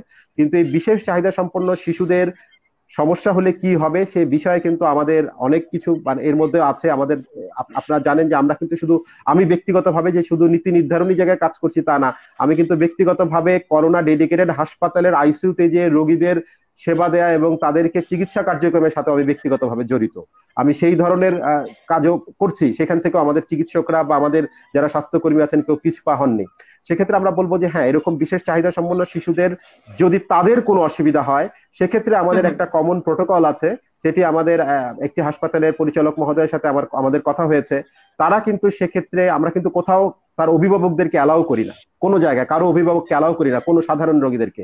কিন্তু এই ধরনের যদি কোনো শিশু আক্রান্ত হয়ে চলে আসে তার অভিভাবকদেরকে আমরা বিশেষ সুরক্ষা পোশাক সহ সেখানে অ্যালাউ করব। সেটি আমরা বলব একটি গুরুত্বপূর্ণ বিষয় যে অভিভাবকরা পাশ চাইলে শিশুর পাশে বিশেষ সুরক্ষা পরিহিত পোশাক পরে থাকতে পারবেন। সেটি আমাদের একটি বিষয়। আরেকটি হচ্ছে যদি দুই একই সাথে দুইজন বাবা মা কোনো কারণে করোনা সংক্রমিত হয়ে যান এটি তো আসলে একটা বিশেষ মুহূর্ত। হসপিটাল সেটা কিন্তু কোনো বাবা মা জানে না? সেটি কোন হসপিটাল জি ওটা ওটাতে আসব আমরা ডেডিকেটেড হাসপাতাল আমরা বলছি প্রত্যেকটি ডেডিকেটেড কোভিড ডেডিকেটেড হাসপাতাল। আমাদের এই মুহূর্তে ঢাকা শহরে যে চারটি কোভিড ডেডিকেটেড হাসপাতাল আছে, মুগদা মেডিকেল কলেজ হাসপাতাল, আমাদের ঢাকা মেডিকেলের বার্ন ইউনিট, আমাদের কুর্মিটোলা জেনারেল হাসপাতাল এবং আমাদের যেটি কুয়েত মৈত্রী হাসপাতাল। এবং আমি বিশেষ করে আমি আপনাকে বলব, ব্রিগেডিয়ার সাহেব নিশ্চয়ই জানেন যে আমাদের কুয়েত মৈত্রী হাসপাতালের যে পরিচালক মহোদয়রা আছেন, ব্রিগেডিয়ার জামিল সাহেব, ওনার সাথে আমাদের প্রতিনিয়তই কিন্তু এই বিষয়গুলো নিয়ে কথা হয় এবং কুর্মিটোলা জেনারেল হাসপাতালটিতে আমরা প্রতিনিয়ত বিভিন্ন ধরনের পরামর্শ সেবাও দিয়ে থাকি। আমরা মুগদা মেডিকেল কলেজ হাসপাতালে আমরা সশরীরে যে আমাদের মানসিক স্বাস্থ্য সমস্যা জনিত সকল সাপোর্ট আমরা দিয়ে থাকি আমরা আসলে বিভিন্ন কারণে কনফিডেন্সিয়াল এথিক্যাল এবং বিভিন্ন কারণে আমাদের রোগী বা এই তথ্যগুলো তো আমরা মিডিয়াতে প্রকাশ করার মতো না সুতরাং এগুলো আমরা প্রকাশ করি না কখনো। কিন্তু আমরা বলি যে কার্যক্রম কিন্তু চালু আছে আমাদের ঢাকা মেডিকেলের বার্ন ইউনিট সেখানেও চালু আছে এবং যদি দুইজন বাবা মাই একসাথে হয়ে যান এই বিষয়টি আসলে আমাদের মাথায় ওরকম ভাবে নাই যে দুইজন বাবা মা হয়ে গেলে কি করতে হবে তবে ব্যবস্থা আমরা একটা করব যদি দুইজন একসাথে হয়ে যায়। এটা একটা খুব রেয়ার কন্ডিশন যে দুইজন একসাথে হয়ে যাবেন। হ্যাঁ? তারপরেও যদি দুইজন হয়ে যান সেক্ষেত্রে আমাদের সমাজ কল্যাণ মন্ত্রণালয় আছে আমাদের এনডিডি ট্রাস্ট আছে আমাদের স্বাস্থ্য মন্ত্রণালয়ের বিশেষ উইং আছে। যদি এরকম কোনো ঘটনা ঘটে আমাদের সাথে আমাদের ইন্টিগ্রাল ইন্টিগ্রেটেড যে কন্ট্রোল রুম আছে সেখানে চব্বিশ ঘণ্টা কিন্তু আমরা স্বাস্থ্য সেবা দেওয়ার জন্য আমাদের কর্মীরা আছে। যদি এরকম কোনো ঘটনা ঘটে আমরা বিশ্বাস করব কোনো শিশু আনঅ্যাটেন্ডেন্ট থাকবে না। এটি তাদেরকে আমরা অ্যাটেন্ডেন্ট করার মতো উপযোগিতা তৈরি করব। কিন্তু সমস্যা হচ্ছে যে আমরা কিন্তু আগে বলেছি যে একটু বিকল্প অ্যাটেন্ডেন্ট তৈরি করার ব্যবস্থা করেন কারণ আমরা যে অ্যাটেন্ডেন্ট তৈরি করব বা দিয়ে দিব তারা হয়তো সবসময় সেই শিশুর জন্য কমফোর্টেবল হবে না শিশুর কাছে কমফোর্টেবল হবে না। সেই কারণে বিকল্পটা আপনাদের তৈরি করতে হবে। অনেক ধন্যবাদ আপনাকে যে এত চমৎকার একটি তথ্য দিলেন। যে তথ্যটা শুনে নিশ্চয়ই বাবা মারা আজকে যারা এই অনুষ্ঠানটি দেখছেন তারা অনেক অনেক বেশি আশ্বস্ত হলেন যে একটা ব্যবস্থাপনা আছে আমাদের বিশেষ চাহিদা সম্পন্ন এই মানুষগুলোর জন্য। অসংখ্য ধন্যবাদ। আমি চলে যাচ্ছি তোফাইল আহমেদের কাছে। উনি কিছু বলতে চাচ্ছিলেন। জি জি। আপা আপা আমি ওই আগের পয়েন্টটা ধরেই আমি যেমন কিছুদিন আগে আমাকে আমাদের মতোই একজন বাবা প্রফেসর আবুল প্রফেসর আবুল বাসার উনি চিটাগংয়ের। উনি আমাকে বললেন যে মোহাম্মদপুরে সরকারের একটা ইনিশিয়েটিভে একটা বাড়ি ভাড়া করে আমাদের জন্য এই ধরনের বাচ্চাদের জন্য একটা স্কুল বা কিছু একটা তৈরি হচ্ছে যেখানে তারা ভাবছে যে এক বছর বা আট মাস তাদেরকে লেখাপড়া শিখিয়ে জেএসসি বা পিএসসি বা এইচএসসি এই ধরনের পরীক্ষা টরীক্ষা আমাদের এই বাচ্চাদের দেয়াবে তারপর রেগুলার স্কুলে নিয়ে যাবে। তো আমি একটু মনে মনে আসলে মানে ব্যাপারটা এমনই হাস্যকর যে আমরা যেখানে ২০ বছর ধরে চেষ্টা করে একটা বাচ্চাকে তার নিজের ব্যক্তিগত কাজগুলোই শেখাতে পারছি না। তো ওনারা যারা এই ধরনের দায়িত্বপ্রাপ্ত তারা কি করে চিন্তা করেন যে আট মাস বা এক বছর ট্রেনিং দিয়ে তাকে এসএসসি পরীক্ষা দেওয়াবেন? এই ধরনের অজ্ঞ এই ধরনের কাজে নিয়োজিত করে কিন্তু। যে সব ধরনের মানুষ দিয়ে সব কাজ তো এইটা একটা বিষয় যে জি। এই ধরনের বাচ্চাদের আল্লাহ আমাদেরকে দিয়েছেন আমরা তাদেরকে দেখাশোনা করছি ঠিক আছে? বাট এইটা কিন্তু শুধু আমার একার দায়িত্ব না এই দায়িত্ব সমাজের এই দায়িত্ব রাষ্ট্রের। কাজেই শুধুমাত্র আমরা সবাই মাননীয় প্রধানমন্ত্রীর দিকে তাকিয়ে থাকব উনি কি করবেন এবং তার উপরে আমরা তাকিয়ে থাকব তা কিন্তু না। ইন দি চেইন আমাদের সবাই যার যেই দায়িত্ব আছে সেটা পালন করতে হবে। এবং আমার মনে হয় যে আমরা কিন্তু অনেকটা সময় পার হয়ে আসছি। এতগুলো বছর চলে গেছে এত বড় এত বাবা মায়েরা এত চেষ্টা করছে। দেখেন আমি আজকে প্রথম হেলাল উদ্দিন স্যারকে দেখতে পাচ্ছি। বাট আমরা কিন্তু এই বাবা মারা একমাত্র জানি ডাক্তার বাসনা মুহুরির টেলিফোন নাম্বার। যে কিছু হলেই রাত নাই, দিন নাই, যখন যখন তখন আমরা শুধুমাত্র তাকেই রিচ করতে পারি।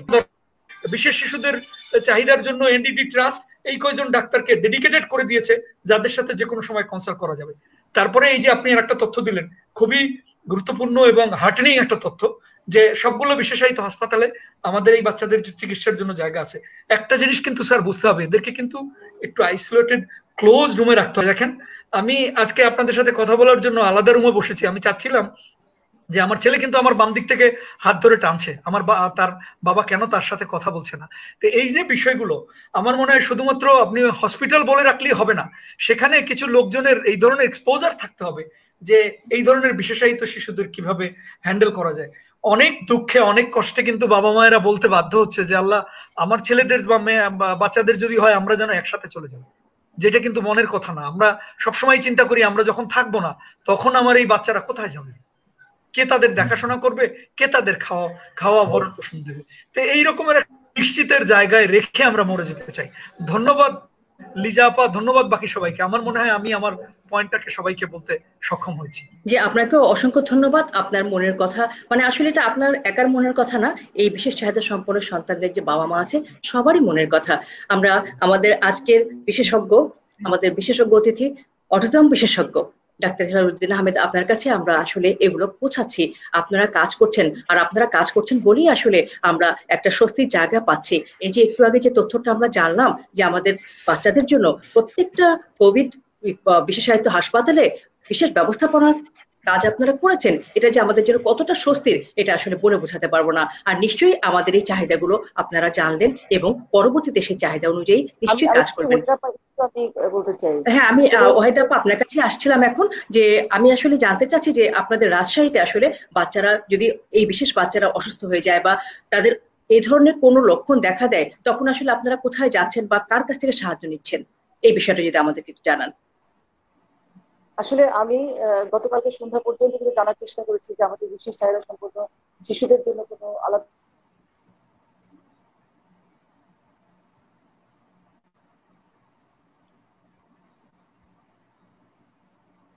আচ্ছা আমরা আবারও ফিরবো ওয়াহিদা আপার কাছে। হয়তো নেট প্রবলেমের কারণে আমরা কিছুক্ষণের জন্য বিচ্ছিন্ন হয়ে গেছি ওনার সাথে। আমরা চলে ও আচ্ছা আপা ফিরে এসেছেন। ব্যবস্থার বিষয়টা কিন্তু এখনও অনেকে জানে না। আমি কিন্তু এইমাত্র হিলাল হিলাল ভাইয়ের কাছ থেকে শুনলাম তো অনেক গুরুত্বপূর্ণ একটা তথ্য এবং আমি আশা করব যে এই তথ্যগুলো যারা ঢাকার বাইরে যে হসপিটালগুলো আছে জেলা শহরে সেগুলো যেন তা সেখানেও যেন আমাদের এই বাচ্চাগুলি সেবা পেতে পারে যদি আক্রান্ত হয়। জি অনেক ধন্যবাদ আপনাকে। চলে যাচ্ছি আমরা ডক্টর সুদীপ কুমার পাল। আপনার কাছে চট্টগ্রামে আসলে কি সুযোগ রয়েছে? আমাদের বিশেষ চাহিদা সম্পন্ন বাচ্চাদের জন্য। ধন্যবাদ আপা। আবার আমাকে জবাব দেওয়ার জন্য। আসলে চট্টগ্রামে আমি যখন পিএইচডি করে ফিরলাম দুই হাজার বারো সালে তখনই আসলে আমার মেয়ে ইউকে তে থাকতেই সে ডায়াগনোসিস হয়েছিল। আমি যখন চট্টগ্রামে ফেরত আসলাম তখন আসলে খুবই লিমিটেড এই বিষয়ে মানে ফ্যাসিলিটিস যেটাই বলি না কেন খুবই কম ছিল। অভিভাবক বা ব্যক্তিগত উদ্যোগেই কিছু প্রতিষ্ঠান এখানে চালু আছে। যেটা ডাক্তার বাসনা মৌরির সঙ্গে তখন আমার পরিচয় বা কথা বলে ওনার স্কুলেই আমার মেয়ে আছে ওনার পরিজন স্কুলে। বাট আমি যেটা ফিল করি চট্টগ্রামে আসলেই বিশেষ করে একটা বন্দর নগরী হওয়ার পরেও আমার কাছে মনে হয়েছে যে ঢাকার তুলনায় আসলে সুযোগ সুবিধা খুবই অপ্রতুল। বিশেষ করে দক্ষ যে শিক্ষক আমি যেটা বলব যে প্রাতিষ্ঠানিক এই বিষয়ে সংশ্লিষ্ট ডিগ্রিধারী যে শিক্ষকের সংকট রয়েছে আমরাও দেখেছি স্কুল কর্তৃপক্ষরা যথেষ্টই চেষ্টা করছেন কিন্তু কোন অবস্থা যেমন একটা ওটি বা একটা স্পেস থেরাপিস্ট অকুপেশনাল থেরাপিস্ট এই ধরনের লোকবল যথেষ্ট ঘাটতি কিন্তু চট্টগ্রাম শহরে রয়েছে। আমি পার্সোনালি ব্যক্তিগতভাবেও আমি চেষ্টা করেছি অনেককে কানেক্ট হওয়ার জন্য কিন্তু দেখা যাচ্ছে যে কিছুদিন পর পরে ওনারা সুইচ ওভার করে যাচ্ছেন হয়তো এখানে থাকছেন না। আর এই মুহূর্তে মানে এই যে মহামারীর একটি সংকটটা আমরা অতিক্রম করছি এই মুহূর্তে আসলে আমাদের বিশেষ চাহিদা সম্পন্ন এই মানুষগুলোর সেবা পাওয়ার ক্ষেত্রে আসলে কি সুযোগ রয়েছে চট্টগ্রামে? সেবা পাওয়ার ক্ষেত্রে আসলে কি সুযোগ আছে সেটা আমি আজকেই ডাক্তার হেলাল উদ্দিন আহমেদ ওনার কাছ থেকে জানলাম যে আসলে আমি ওয়াইদের একমত। বা সবার সাথে একমত। আমরাও আজকে জেনেছি যে এই সুযোগ সুবিধাগুলো বিভিন্ন কোভিড হসপিটাল যেগুলো আছে সেগুলোতে আছে। আমার এটা জানা ছিল না ব্যক্তিগতভাবে। আমরা আসলে এই মুহূর্তে পার্সোনালি আমরা ডাক্তার বাসুনা মৌরির সাথেই কানেক্টেড এবং স্কুলের যারা আছেন কিছু ডক্টর আমার পার্সোনালি যারা পরিচিত আছেন তাদের মাধ্যমে আমরা কানেক্টেড আছি। এবং তাদের থেকে আসলে আমরা কোনো সমস্যা হলে পরামর্শগুলো নেওয়ার চেষ্টা করছি। এবং আচ্ছা। প্রাতিষ্ঠানিকভাবে কোনো সুবিধা আছে এই মুহূর্তে আমার ঠিক জানা নেই আসলে চট্টগ্রামে আচ্ছা আচ্ছা। জি জি। আপা আমি একটু আমি একটু ওনার সাথে অ্যাড করতে চাই আপা। জি করেন। বলেন আপনি। জি আহ, আমাদের আহ, আমাদের যারা এই ধরনের স্কুলের সাথে জড়িত আছি সবাই খুব কানেক্টেড তারপরও আমি বলব যে আজকাল ইলেকট্রনিক ডিভাইস এবং থ্রি জি ফোর জি এগুলো হওয়ার প্রেক্ষাপটে আহ, যেমন আমাদের যে স্কুলটা ঢাকায় এটা most of the cases it is one is to one তো এবং ওই প্রত্যেক বাচ্চার বাসায় একজন করে আবার বিকেলবেলা বা সন্ধ্যার দিকে আমাদের টিচার বাসায় যেত বাট এখন এই পরিস্থিতির কারণে যাওয়া যাচ্ছে না। তো সেজন্য আমরা যেটা করার চেষ্টা করছি সেটা হলো যে ওই ইলেকট্রনিক ডিভাইস দিয়ে অনলাইন হয়ে বাচ্চাদের সাথে অ্যাটলিস্ট দিনে প্রতিদিন কিছুটা হলেও যেন টিচাররা সময় কাটায়। এইটা একটা বিষয়। আর একটা হলো যে আমাদের মানে এই পরিস্থিতিতে আসলে তো আত্মীয় স্বজন কেউই কার কাছে যেতে পারছে না। আমি মনে করি আমাদের এই বাবা মায়েরা আসলে আমাদের আমাদের পরম আত্মীয়। কাজেই আমাদের আত্মীয়র চেয়ে বড় আত্মীয় আমাদের এই বাবা মায়েরা। তো এই সময় আমরা যেন একজন আর এক বাবা মায়ের সাথে রেগুলার কথা বলি আমাদের এনজাইটি শেয়ার করি। বাট একটা বিষয়ে আমার আসলে আহ, খুবই দুশ্চিন্তা লাগছে যে যে কোনো সময় যে কোনো কাউকেই আসলে করোনা ধরতে পারে। কারণ এটা তো কাউকেই মানে না। আমরা দেখলাম যে ইভেন এই কানাডার ফার্স্ট লেডি ব্রিটেনের প্রধানমন্ত্রী সবাইকে ধরে ফেলল। তো আমাদের এরকমের হয়ে গেলে যে আমাদের কি হবে আমরা আসলেই এটা জানি না। তো আজকে আপনারা যেই আলাপ আলোচনাটা করলেন সেটাই আমরা বুঝতে পারছি যে এই ধরনের অল্টারনেটিভ কাউকে তৈরি করা দরকার। But we really. Not sure how and from where আমরা কাকে যে আমাদের এই বাচ্চাদের কাছে রাখতে পারব এবং কোত্থেকে আহ, এইটা একটা বিরাট প্রশ্ন। তা আমি মনে করি যে আজকের এই ইয়ের মাধ্যমে এই আলোচনার মাধ্যমে সব বাবা মায়েরা যেন এই জিনিসটার ব্যাপারে একটু অ্যাক্টিভলি চিন্তা করে। ধন্যবাদ। চিন্তা করতে হবে। আসলে সময় এসেছে।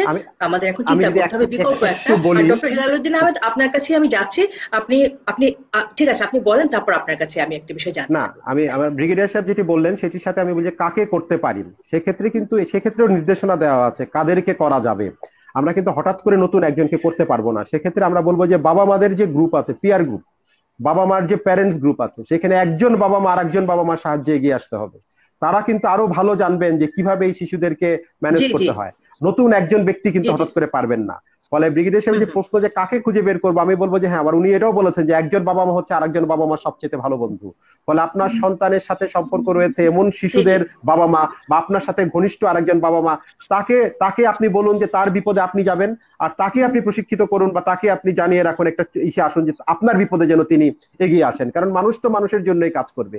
আরেকটি জিনিস বলতে চাই যে হ্যাঁ আমাদের সবগুলো হাসপাতালে আমরা চেষ্টা করব হয়তো তাদেরকে সুবিধা দিতে সমস্ত কিছু করতে আমাদের সেই পরিকল্পনা আমরা মনে রাখতে হবে যে আমরা কিন্তু একটি আমরা অত্যন্ত একটি দরিদ্র রাষ্ট্র আমাদের সীমাবদ্ধতা আছে।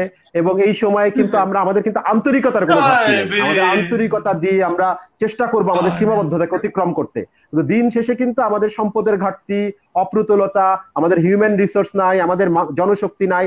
মাত্র দুই হাজার ডাক্তার কিন্তু গতকালকে প্রজ্ঞাপন হলো তারা যোগ দিবে যোগ দিতে হয়তো পাঁচ সাত দিন লেগে যাবে। ফলে তাদেরকে আমাদের একটা প্রশিক্ষণের আওতায় নিয়ে আসতে হবে। ফলে আমরা কিন্তু সীমাবদ্ধতাকে মাথায় রেখে আমাদের কাজ করতে হবে এবং প্রত্যেককেই মনে রাখতে হবে যে শুধু আমি একা একজন রোগী নই কোভিড উনিশের। আমার মতো আরও হাজার হাজার রোগী আছেন। সেটা মনে রেখেই যদি আমরা চেষ্টা করি, আমরা যদি একটু, একটুখানি কনসিডার করি সবাইকেই, তাহলে কিন্তু আমরা সবাই মিলে ভাগ করে সেবাটিকে নিতে পারব। সেবাটিকে একা, সমস্ত সেবা একা নেওয়ার সুযোগ আমাদের নাই। আমরা ভাগ করে সেবা গ্রহণ করব। আমাদের সীমাবদ্ধতাকে মেনে নিয়ে আমরা সেবাটি দেওয়ার চেষ্টা করব। জি, সেটাই। আর আসলে এটা একটি ভালো কথা বলেছেন যে, এই বিশেষ চাহিদা সম্পন্ন সন্তানের বাবা মাই কিন্তু একজন আরেকজনের কষ্টটা বুঝে তাদের সহমর্মী হয়, সমব্যথী হয়। তো সেক্ষেত্রে আসলে এই ব্যবস্থাটাই হয়তো করতে হবে যে, এরকম আরেকজন প্যারেন্টস এর উপর নির্ভর করতে হবে এবং সেও আমার উপর নির্ভর করবে এরকম ভাবে একটি সম্পর্ক গড়ে তুলতে হবে। ডাক্তার হিলালুদ্দিন আহমেদ, এই আলোচনা থেকে নিশ্চয়ই আপনি অনেকটাই বুঝতে পেরেছেন পাশাপাশি আমরা যে ইগুলো পাই প্যারেন্টসদের কাছ থেকে যে ফিডব্যাকগুলো পাই, এমনও হয়েছে, আমাকে কয়েকদিন আগে একজন বলছিল যে, এটা আসলে শেয়ার করতে চাচ্ছিলাম না, কিন্তু মনে হয় শেয়ার করা দরকার।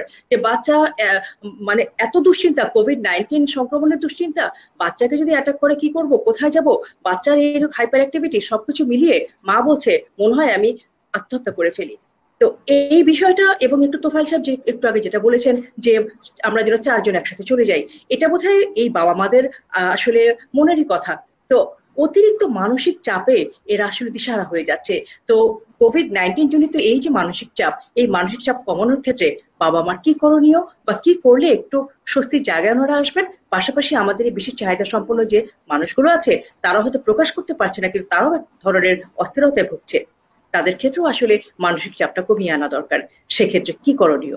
ডাক্তার হেলালুদ্দিন আহমেদ।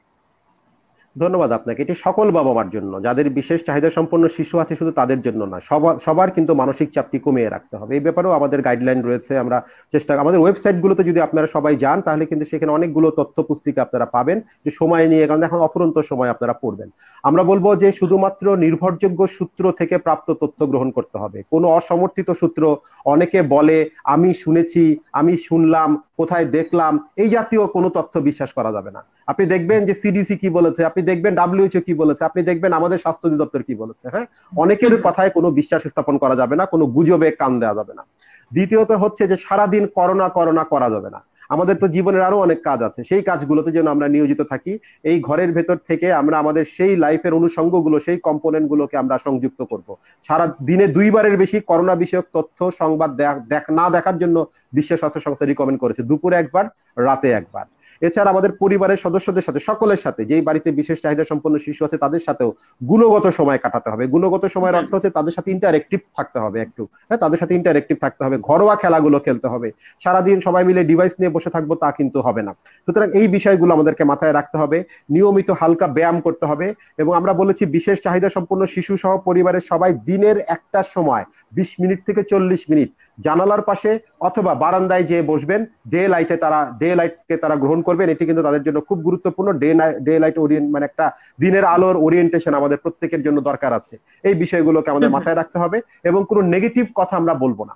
আমাদের কোনো নেতিবাচক কথা নেতিবাচক চিন্তা আমাদের হতাশাকে বাড়িয়ে দেয়। আর আমরা বলব যে আতঙ্ক আর হতাশা আমাদের ইমিউনিটিকে কমায় দেয়। এটা আমাদের স্ট্রেস হরমোনের কারণে ইমিউনিটি কমে যায় ফলে আমরা কোনো নেগেটিভ কথা বলব না আমরা পজিটিভ কথা বলব। এমনকি কারও যদি করোনা পজিটিভও হয় আমরা পজিটিভ থাকার চেষ্টা করব। কারণ আমরা বিজ্ঞানের সূত্রে জানি পজিটিভ আর পজিটিভ মানেই হচ্ছে পজিটিভ পজিটিভের সাথে নেগেটিভ যুক্ত হলে সেটা নেগেটিভ হয়ে যায় আমরা নেগেটিভ কোনো কথা বলব না।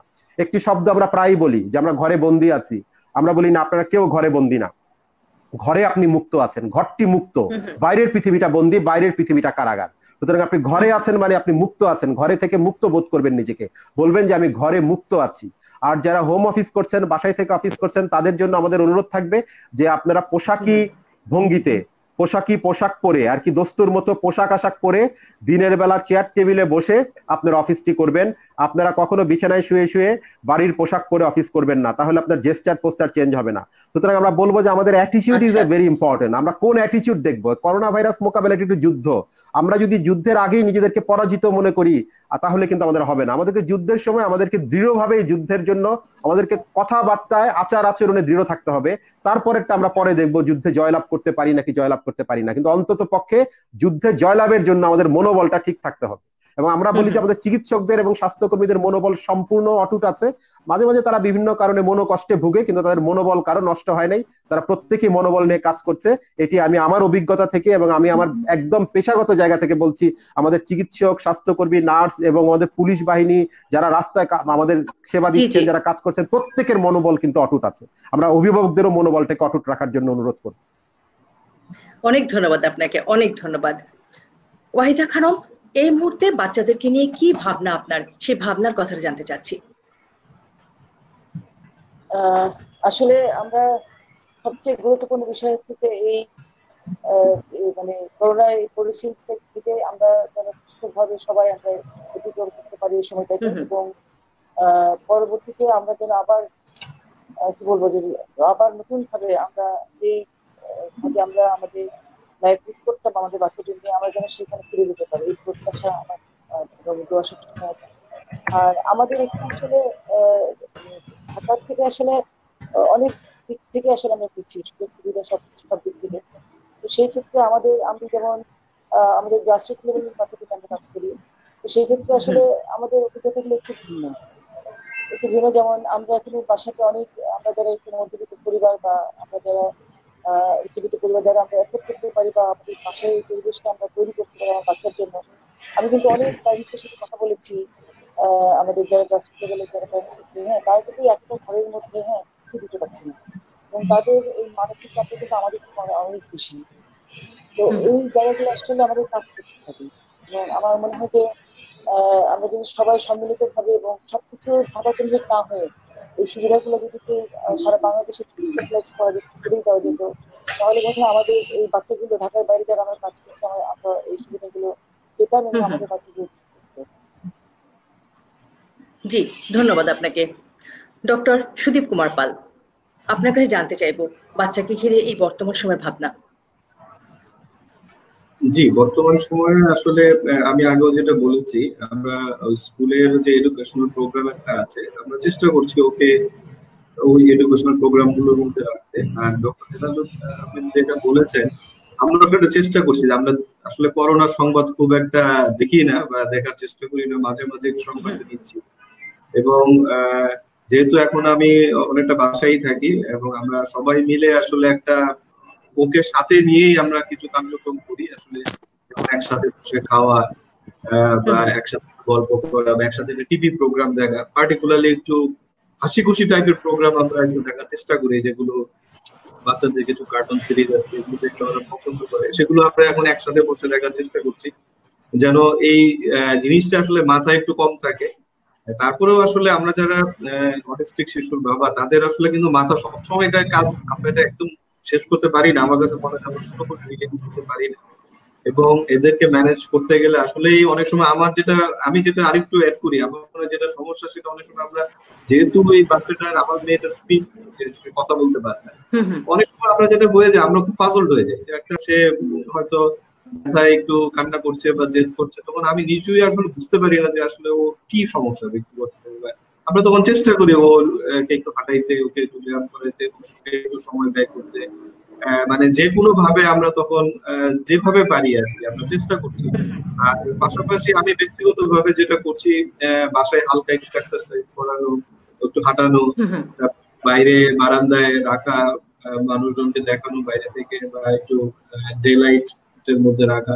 আর পাশাপাশি ছোটখাটো কিছু হাতের কাজ বা প্রোগ্রাম প্রোগ্রাম যেগুলো আছে সেগুলো আমরা এই মুহূর্তে চালিয়ে যাচ্ছি। তবে ও যেটা হতো প্রতিদিনই বাইরে যেত সেই প্রোগ্রামটা যেহেতু করতে করতে পারছে না আমি পার্সোনালি যেটা ফিল করি হ্যাঁ সকালে স্বাভাবিক আমাদের যে দৈনন্দিন কাজগুলো সেই বাচ্চাদের সেটা আসলে কন্টিনিউ করতে পারছে না তারা। দরজা খুলে দাও আমাকে বাইরে নিয়ে যাও। তো সেই জিনিসগুলো মানে এই মুহূর্তে আসলে কি সুযোগ সুবিধা থাকলে পারে আপনার জন্য মানে দুশ্চিন্তাটা তো অনেক কমতো আমাদের বিশেষ মানে চাহিদা সম্পন্ন বাচ্চাদেরকে ঘিরে আচ্ছা। যে দুশ্চিন্তাগুলো আমরা করছি আমি একটু ওনার সাথে একটু অ্যাড করতে চাচ্ছিলাম জি জি আমার মনে হয় যে যেটা ব্রিগেডিয়ার সাহেব বলেছেন আমি ওনার সাথে একমত যে এই এই সমস্ত ক্ষেত্রে যদি অনলাইন যেমন আমরা আজকে এখানে কথা বলছি আমরা সবাই সবাইকে। দেখছি আর স্কুল কর্তৃপক্ষ বা যে কোনো ভাবেই যদি আসলে ওদেরকেও একটু কানেক্ট করা যায় যে না ওরাও আমাদের মতো এখানে বসল হয়তো কথা বলুক না বলুক ও ওর। যে বন্ধু আছে তাদেরকে দেখল বা পরিচিত। যারা আছে শিক্ষকদেরকে। দেখলেন বা আমরা অনেক সময় যেটা ডাক্তার হেলাল উদ্দিন বলেছেন যে আমরা করোনার উপরে যদি কোনো ভিডিও চিত্র তাদের জন্য করা হয় যে এই ধরনের মানুষগুলো তাদের। সেবায় নিয়োজিত থাকে সেগুলোকে দেখানো সেই ধরনের প্রোগ্রাম গুলোকে দেখানো এবং পাশাপাশি আমরা আমি মনে করি যে এই ধরনের অ্যাক্টিভিটি যদি প্রতিদিন থাকে যে হ্যাঁ দেখো তোমার বন্ধু কিন্তু। বাসায় আছে বা এটা করছে আমার মনে হয় সেই ক্ষেত্রে এটা আরেকটু বেটার হতে পারে যদি এইভাবে হ্যাঁ এটা খুব ভালো বলেছেন যে কোনো মাধ্যমে যদি কানেক্ট করা যায় অ্যাটলিস্ট প্রতিদিন না হলেও কিছুদিন পর পরও যদি কানেক্ট করা যায় আমার মনে হয় সেটা ভালো হয় যে ওর বন্ধুদের দেখল বা ওরা কি করছে ওদের সঙ্গে একটু আহ, কিছু ভিউ এক্সচেঞ্জ করল কথা বলল বা না বলুক ওর মতো করে ও কিছুটা বলার চেষ্টা করল বা জি জি এটা এটা খুব ভালো কিছু দিয়েছেন আপনি উপায় বলেছেন এবং কিছু কিছু কাজ হয়তো ব্যক্তিগত উদ্যোগেও আসলে করা যায়। এই যে ভিডিও কনফারেন্স করা বন্ধুর সাথে বন্ধু দেখো কথা বলিয়ে দেওয়া এটা এটা হয়তো পারিবারিক উদ্যোগে বা ব্যক্তিগত উদ্যোগেও এটা বাবা মা করতে পারেন। ধন্যবাদ আপনাকে চলে যাচ্ছি। তোফায় সাহেবের কাছে সংক্ষেপে সন্তানদের ঘিরে আপনার ভাবনার কথা। জি আপা আমি যেটা বলতে চাচ্ছিলাম সেটা হচ্ছে আমাদের এই ধরনের বাচ্চাদের আমাদের ডক্টর স্যার যিনি আছেন উনিও জানেন এই ধরনের বাচ্চাদের ইমিউনিটি কিন্তু অন্য স্বাভাবিক বাচ্চাদের চেয়ে একটু কম। জি জি। আমাদের ইমিউনিটিটার দিকে লক্ষ্য রাখতে হবে এবং যেগুলো ইমিউনিটি বাড়ায় এই সমস্ত ফুড সাপ্লিমেন্টগুলো আমাদের বাচ্চাদের এই সময় খুব দেওয়া উচিত। এক। সেকেন্ড পয়েন্ট হলো যে আমরা বাচ্চাদের দিয়ে কাজ করাবার জন্য অনেক সময় অনেক রকম রিএনফোর্সমেন্ট দেই।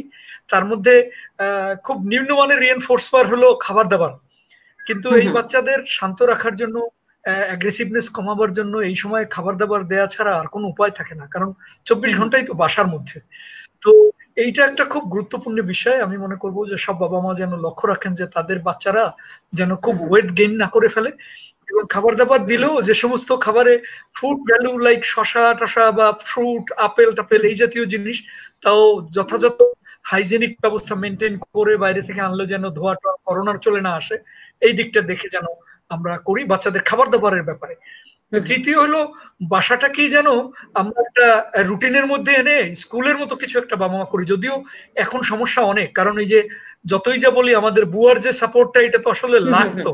কারণ এই রান্না বান্না থেকে করে হাড়ি পাতিল কাপড় ধোয়া ঘর মোছা ঘর পরিষ্কার করা অনেক বড় কাজ।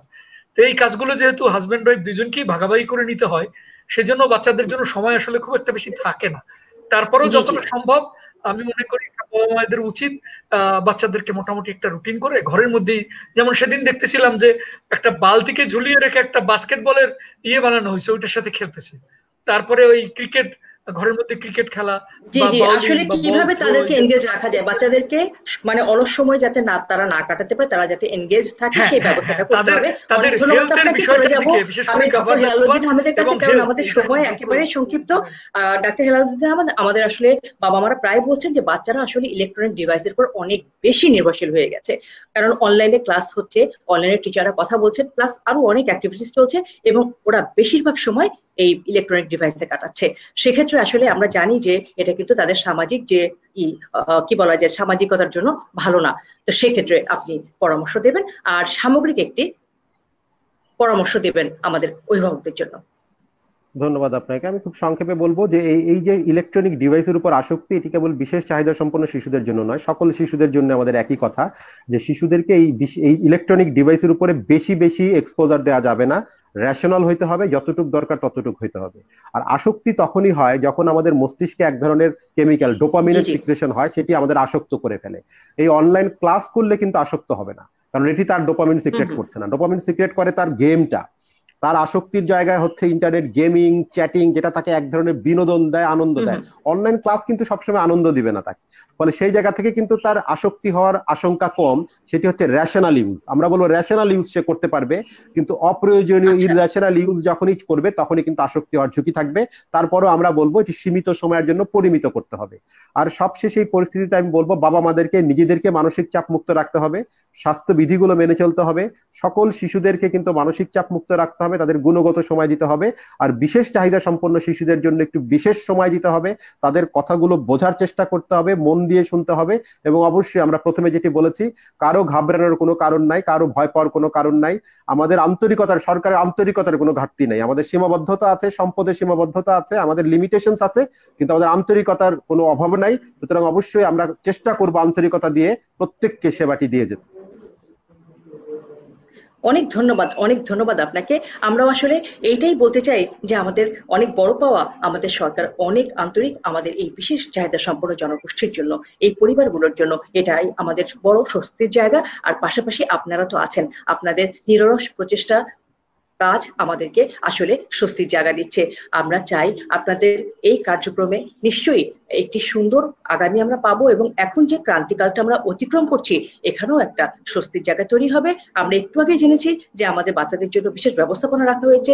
এই বিশেষ বিশেষায়িত হাসপাতালগুলোতে পাশাপাশি আজকে আপনি যে পরামর্শগুলো দিলেন অত্যন্ত গুরুত্বপূর্ণ যে প্রথমেই আসলে বাবা মাকে অনেক বেশি ধৈর্যশীল হতে হবে বাবা মাকে নিরাপদ থাকতে হবে সবার আগে সেই জন্য স্বাস্থ্যবিধিগুলো অনেক বেশি করে মেনে চলতে হবে বাবা মাকে কারণ আপনি শেষ করার আগে একটা একটা গ্রুপকে আমাদের একটা বিরাট ধন্যবাদ দেওয়ার কথা আপা।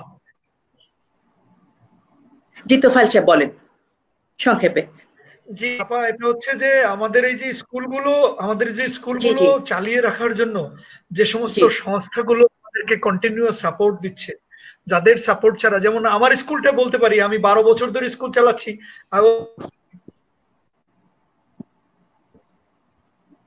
জি। বিচ্ছিন্ন হয়ে গেছে। যোগাযোগ তোফাল সাহেবের সাথে। তো যাই হোক, আমরা অনুষ্ঠানের একটু শেষ পর্যায়ে চলে এসেছি। আপনাদের সবাইকে অসংখ্য ধন্যবাদ। অনেক ধন্যবাদ ডাক্তার হেলালুদ্দিন আহমেদ। অনেক ব্যস্ততার মাঝেও আমাদেরকে সময় দিয়েছেন। এই গুরুত্বপূর্ণ কথাগুলো শেয়ার করলেন আমাদের দর্শকদের সাথে। আমি নিশ্চিত আজকের অনুষ্ঠান থেকে আমাদের বাবা মারা অনেক বেশি সাহস পেলেন, অনুপ্রাণিত হলেন এবং নতুন উদ্যম পেলেন বাচ্চাদেরকে নিয়ে এগিয়ে যাওয়ার জন্য। আর যে বাবা মারা আজকে আমাদের সাথে সংযুক্ত হয়ে নিজেদের বাচ্চাদের কথা বললেন, কীভাবে ম্যানেজ করছেন এটা বললেন, এখান থেকেও আমাদের বাবা মায়েরা অনেক কিছু শিখলেন। সবাই ভালো থাকুন। আর সবশেষে এটাই যে, এটা একটি সাময়িক অবস্থা, নিশ্চয়ই আমরা এই অবস্থা থেকে বের হয়ে আসব, আমরা উত্তরণ ঘটাবো।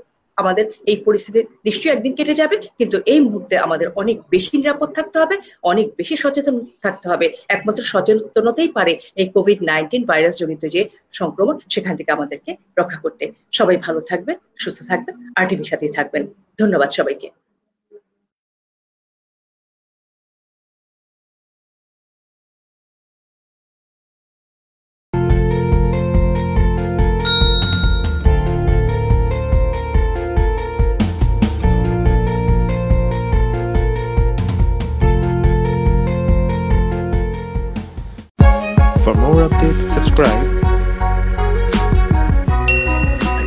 Bell icon on YouTube app and never miss another update.